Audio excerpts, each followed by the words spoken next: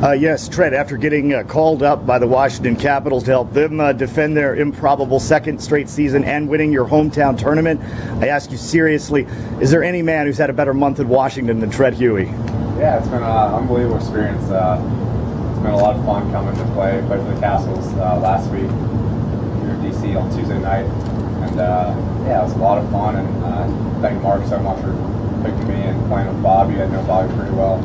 So that was a great experience. And coming here and playing the tournament that I grew up watching since I was a little kid, uh, it was a great, great experience. And Dom and I had a, I mean, a fun week. And, uh, it's always more fun when you win, so that definitely helps. Definitely. Thank you. You mentioned coming here a bunch of times as a kid. Was there any particular match you remember? Did you have a favorite player? Or anything like that? I grew up, I mean, I like Blake and Agassi and Tommy Haas a bunch, and seeing Tommy do real well this week, it's been a lot of fun. But uh, as a kid, I think, I don't know what year it was, but Blake played Agassi one of the years, and was just absolutely on fire, and just beat him. It was pretty bad. I don't know what the score was, but I remember Blake was hitting winner after winner anywhere in the court, and everywhere in the absolutely packed house, and everywhere the stands just in awe. He was, was the ball as hard as anybody had ever seen, and absolute winners everywhere. And that was one of the nights that I still remember today.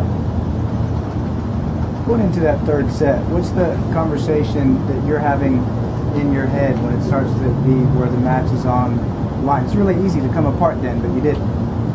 Yeah, for sure. And doubles, I mean, it comes down to one or two points here and there. And uh, with a 10 point tiebreaker in the end, you have to, I mean, play well when you need, you have to play well. Those big points. And uh, he and I both served well when he, we needed to. And Dom played some great points on return. Uh, got us in a little lead in the breaker, and uh, we cruised from there. We hit some big serve, covered the net real well, and closed it out. So that was great. You won uh, third, or you played 35 tie uh, tiebreak points between the second break and the and the super breaker. How do you maintain your focus? When do you get time to breathe during that stretch? Yeah, in the tiebreaker, I feel like we have a little more time. People will take a little more time for the tiebreaker after two points you change serves.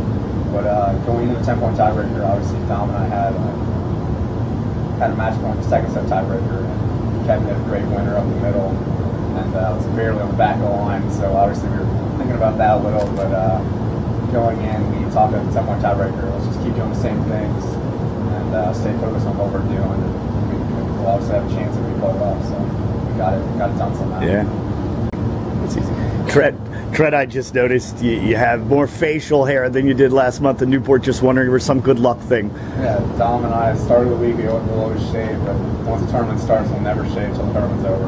That's uh, something we always, we've always done, and I think we'll always keep doing that. So. Thanks. Thanks a lot, Treat.